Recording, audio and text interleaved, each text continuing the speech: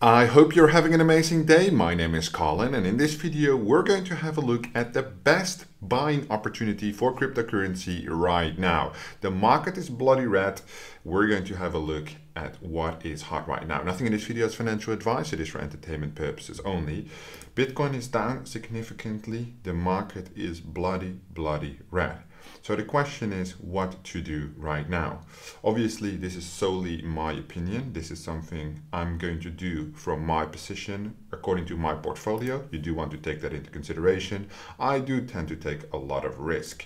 So for the last seven days, Bitcoin was quite stable. I've talked about it in my videos before. If you haven't seen those, make sure to subscribe to the channel so you stay fully up to date. As of basically last night, Bitcoin took a huge dump, going from 43 to 39-ish, and now we're in a small, minor, minor recovery right? Or stabilization more so, as you can see here.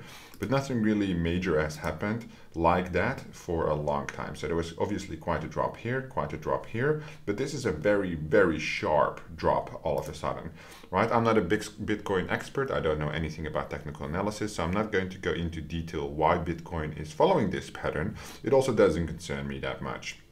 Why?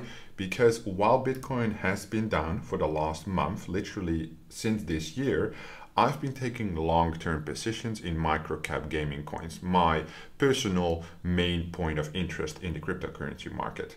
And people ask me all the time, and I always tell them I don't give financial advice, right? Always do your own research. I can only tell you what I'm doing, my research, my point of view, and you do your own research.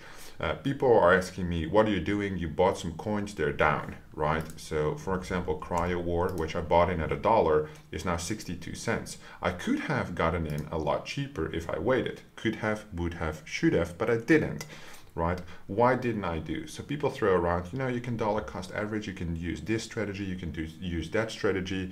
Anything what you want to use is fine, in my opinion. What I'm going to do is keep things super simple because I'm not really uh, in, into the fancy moon boy terms, right? I'm just looking at this primarily. I follow one of the main strategies of investing, which is buy when others are fearful. That is one thing I learned last year, which I didn't do because I was tending to be too emotional. That is my main rule. I will always come back to this. Somebody asked me today, specifically my private community, uh, which I run on Discord, what are you going to do? What are your thoughts? My thoughts are literally the same as they were yesterday. I am waiting for more opportunities. Why? Because I have at the moment uh, more than six figures in stable coins, right? I'm not looking to get jump in 100%, right? I'll st step in step by step like I've done for the last uh, week. So I did an update on my channel when we look at coins. So I have $10,000 worth of Cryo War, which is now only $6,200, right? I bought $10,000 worth of Ertha-ish at about 25 cents. I'm still up on that one, so that's fine. I did buy $10,000 worth of Chumbi Valley, which the price went down, but the staking rewards have been amazing. So that's about $13,000 right now. And I did some really successful IDO launches lately, which have been adding to my portfolio. One, which was yesterday, uh, VEV, right? The launch that I do, uh, which basically did a 30x, right now holding stable at about a 30x, uh, which I sold at a 26x, I believe. So I sold a little bit too early, uh, but that did really well. There are some amazing launches coming up, so I'm not too worried about the market. Why not?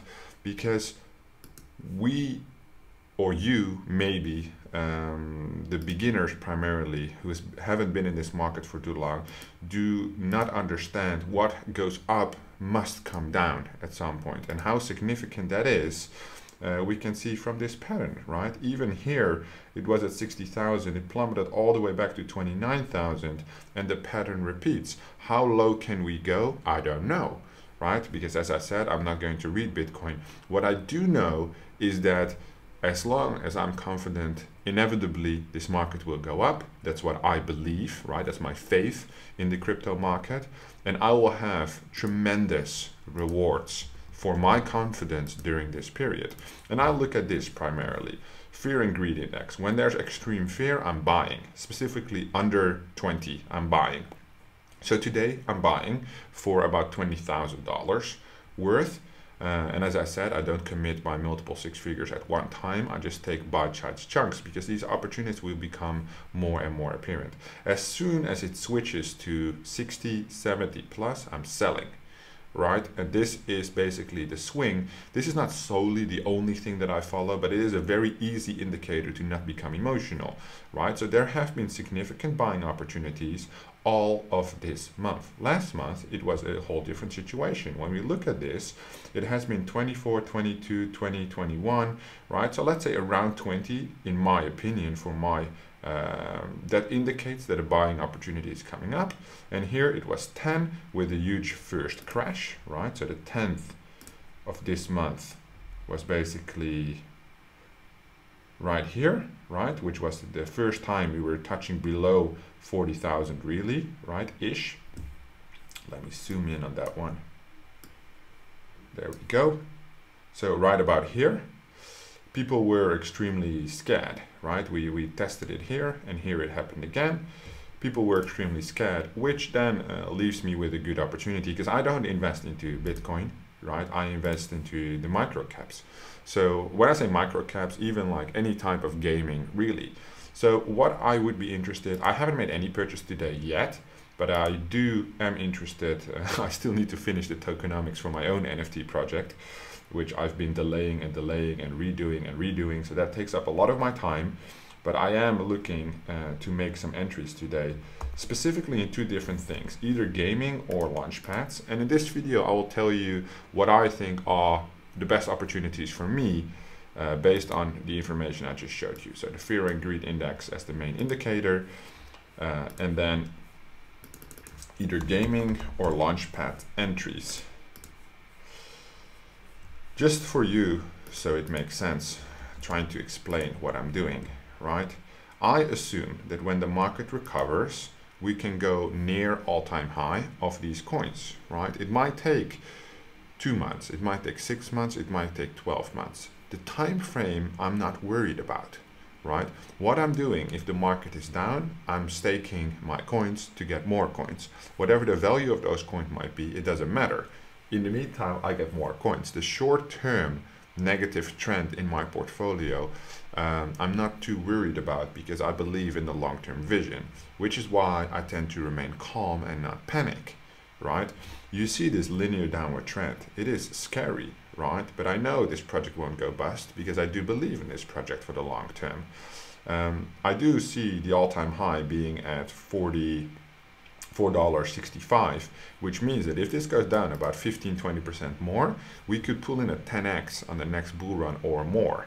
That's why I keep accumulating these projects that I truly believe in, and I I truly believe, well, time will tell, maybe a year from now when I make another video on cryo war, that we pulled in a 10x return on our investment by the decisions made when everybody was fearful right? And it's a difficult decision, definitely, but that's why it's one of the best strategies, in my opinion, buy when others are fearful, uh, because it's so going against nature, right? Everybody wants to sell right now, and I've done that last year and a year before that, and that was the stupidest, I, I made the biggest mistakes there, right? Because basically you're selling low and buying high when the market is in uptrend, and right now, this time around, I'm trying to do it different.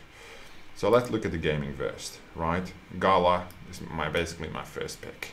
I mean, come on. I'm still looking at that relative all-time high pattern in November. So I'm going to take last three months, right? I'm just looking at November, nothing else. So we're, we're sitting at about 82 cents, right? 25 cents right now, 3x. Uh, I, I wouldn't say guaranteed because there's always significant risk, but this project would have the lowest significant risk looking at the market cap of 1.7 billion already. In my opinion, this one will make an extremely strong recovery when the market turns around. Gala, one of the best choices. You obviously have your Decentraland sandbox, but they're not taking that that big of a hit. When you look at these two, Decentraland and Axie Infinity, they're only taking 10% hit, where Sandbox and Gala took 20 to 25% hit. So basically you want to look at the percentage changed, not the actual entry number right? Because it is very much likely that when Bitcoin goes back above 40,000 or, or makes a little run to 44,000, right? That these coins go plus 15, plus 20% in one day. And that's because the market is extremely volatile. You could have a short-term benefit. As, as I said before, I'm not looking for short-term benefit. I'm looking for long-term benefit. Uh, but that's definitely something to consider. One thing that I think interesting is more of the powerful coins. So my neighbor Alice, so I haven't covered that in a video. I will cover it very soon because it is an interesting project. But look at these amazing spikes here relative to where it is right now, relative to the market cap. So anything basically in the top 20 list does have some good entry opportunity. Illuvium, definitely when they roll out the game. Uh, I don't think Victoria, people ask me a lot about this project. I don't think it has a good opportunity because the, the IDO listing did like extremely well, right? I think it did like a 250, 300x. So the investors will slowly be dumping each vesting round is to be considered. One of the best opportunities, 28% down. I mean, Falcon, I think we can all agree that this is super undervalued right now for what they have accomplished so far. Um, it's just a downward trend in the market. You could even consider this for a shorter term flip, right? Because it tends to, to move back closer to 20 every time and then it drops down. But at $10, if you're looking for a long-term entry, then this might definitely be interesting, right? Oh, my bad. I did close that one. I wasn't supposed to. So let's open that back up and go back. So these are all the coins that I usually tend to cover on this channel, right? You can see the pattern. What is good is good. When the market is down, uh, some things are still in the green, which must have like some launch or game related things. Uh, one other one I've been looking at is like the Star Atlas, either uh, one of the two. Uh, Minds is a little bit too unstable, but you can see like crazy opportunities with minus 32%. Um, that has tremendous potential. We're looking at a dollar, well, 4.5 at the all-time high. So you can see Cryo War is definitely a better opportunity for the long term, in my opinion, relative to mines. But the, the projects do have the same type of appeal, right? And that's the pattern that I see is that I'm not looking at micro micro caps, right? Like say under 10 million, because these are way too volatile. So when we look, those are more like short-term plays. When we look at something like MagicCraft that I that I spoke about numerous times, there's like 2.1 cent here. Now it's like in a small upward trend. But ever since I covered it, it has never done any kind of same. So I covered it from here till here, right? And then basically it has slowly died out. Um, but there will be future movement. But this, to play something like MagicCraft for the long term, it really depends on how the team can perform. You really would be looking at uh, the alpha game launch, right? The beta, the alpha game launch, uh, and that hasn't been announced to be this year, I believe. Um, so this would be too much risk for me to make into a long-term play. I'm willing to take a lot of risk, right? So I do have sufficient capital to take risk, um, but I, am also not retarded, right? Which is the other side of things. So I'm not delusional. I very much base everything on research, as hopefully you know on this channel. And I do look at the opportunity. Something like SolChicks, which is now going below IDO price, is obviously one of the worst opportunities uh, which I definitely would not recommend. So the Solana-based blockchain games are, tend to be quite strong, right? So we have, uh, well, CryoWar, Star Atlas, you have the, the Monkey Ball, which I'm not really a fan of uh, myself, but it tends to, to, to hold strong. Let me just check, I haven't checked that in a while. Right, it's moved down as exactly as I said it would from a dollar even further down uh, it came from opportunity. So this is definitely an opportunity where I think you need to be able to do research the project, right? Because if you would follow what I've been saying about Cryo War, what I've been saying about, let's look at Genopets, because that's also a nice Solana blockchain game. I really like this one, right? So these projects are down because the market is down, right? You see the, the linear downward pattern they are good projects. If you research the projects they just aren't ready yet. So these projects have been launched like all the games launch without an actual live game. So the games aren't ready. You see a, a linear downward pattern as the game the market reacts to bitcoin right? That's basically what's happening. Now when you look at monkey ball this there's way more turbulence on this graph right? Rapid downturns uh, some recovery um, and then when you research this actual product, it turns out that the team is extremely weak. Well, it's completely 100% crap, in my opinion, which basically means that the opportunity, in my opinion, my opinion, described here, is relatively the same to, to this project, right? Just it's personal preference. Where do you have more faith, right? That uh, the project can deliver here or here, but it's not the same as this, right? Although this, this looks quite similar, it is not similar. It's not the same, and that's why just solely based on the graph and technical analysis, uh, you might not have the best indicator. I don't know technical analysis, and I, I truly believe that's like a tremendous skill if you would, but I uh, find in my research from teams, projects, opportunities relative to other projects that there's definitely some uh, some best, good, better, best, right? I mean, when the market is down, I would say most of the projects are good choices. However, do note that um, if Bitcoin would, would decide, I don't know, because I don't know much about Bitcoin, to go to 20,000, a lot of these projects will disappear right? Because their coins are not worth anything, they're not being traded, there's no liquidity, and a lot of these small micro cap projects will disappear forever if the owners do not have enough funds to bridge the bear period, the extreme bear. I don't think that would ever happen, but then again, I don't know. It did drop from 62 to 39 at the moment, and who knows where we're going. It's all a big adventure. I do believe in the long term, so that's what I'm focusing on. Obviously, when we look at the launch pad, uh, the NFT launchpads. Two things that I like, Altura. So this is something I always like for the long term, right? Uh, again, look at the chart, significant risk, yes. Uh, NFT marketplace, yes. So I've been looking a lot into NFT marketplaces just because of outside the gaming, right? Expand my uh, my knowledge a little bit because uh, they make sense, right? So Superfarm, Altura, uh, LooksRare, I've been looking into LooksRare as well. So obviously there's quite some hype around this right now. I think the value is a little crazy. Uh, so this one is 855 million, but it's extremely buggy, right? This one is only 80 million, but there's almost nothing there except partnerships. They just need more time, right? LooksRare is really hyped, sitting at a $6 billion valuation. It is trying to compete with OpenSea, so that does make sense. Um, I would buy this and stake it which is actually one of the coins I'm considering today, dropping about 10 grand in and then just staking it on their platform. The APR is about just under 600%, 599%, so that's quite good. And I'm just curious to see how this goes, if they can actually compete. I do like the platform, I do like the idea behind it. So this would be one of the best coins in my opinion to consider. It is quite expensive already. If you would look at the term, let's say a week ago, yeah, it was about $3, just over a week ago it was about $2, uh, but that's obviously the hype, right? So definitely do your research there, make a risk analysis. But these are like three NFT marketplaces that I like, that I do believe have long-term opportunities, specifically Altura being my favorite. It has always been one of my favorites. Why? Because the coin tends to just deliver me results every single time, over and over again. Um, it's not really about the platform itself of Altura, it's more about the rewards that I've yielded that I'm I've become emotionally attached to this project, which may not be might not be a good thing, right? But it does uh, is a very interesting project for me.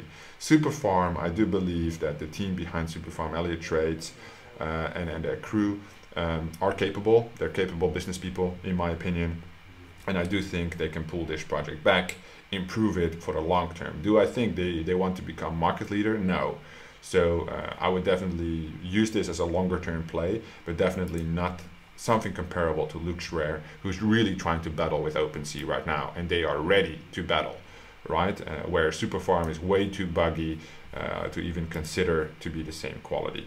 All right, so those are the NFT marketplaces. We have covered crypto gaming major coins. Uh, we're not going to consider any micro caps, anything under 10 million market cap, 15, 20 million. But we are going to see, see if there's some launchpad opportunities, right?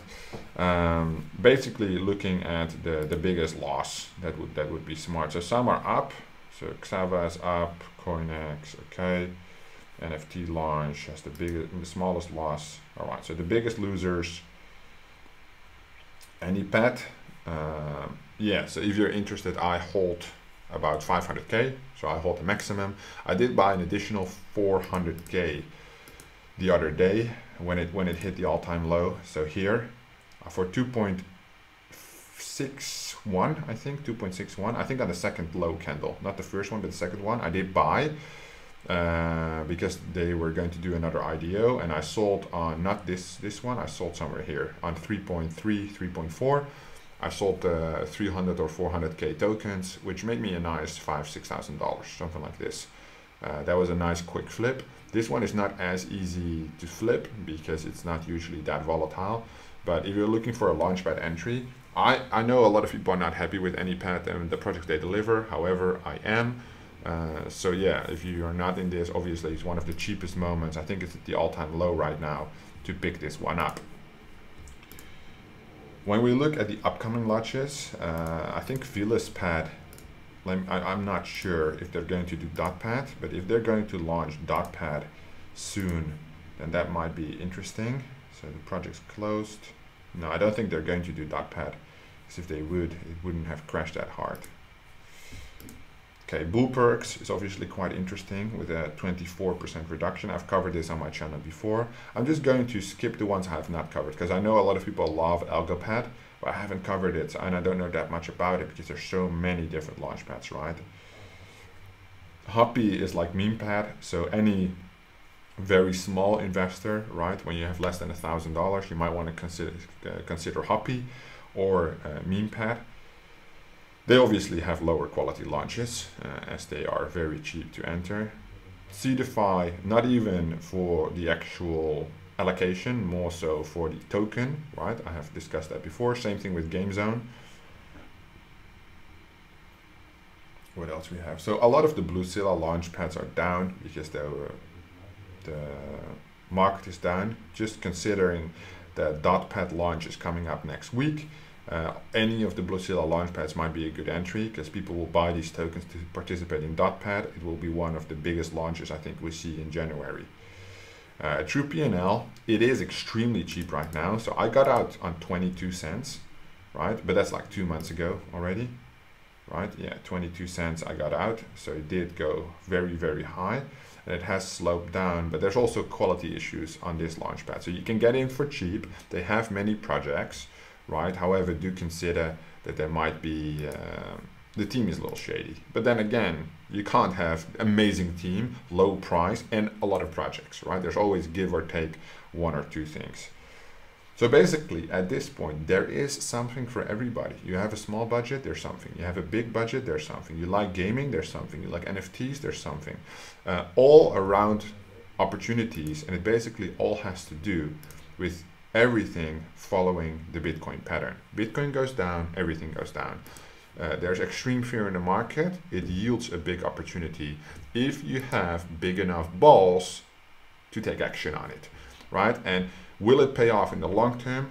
Nobody knows, right? This crypto market, one thing I've learned, this crypto market is way too volatile to predict, right? When we make price predictions, they are predictions. That's all it is. We try to look at prehistoric patterns to calculate uh, future events. And that's one of the main investment rules. You cannot predict future events just on historic patterns. You can find a pattern, but it's still probability, right? And one good example that is, is the probability that I would flip a coin 10 times, I could get 10 times heads, zero time tails.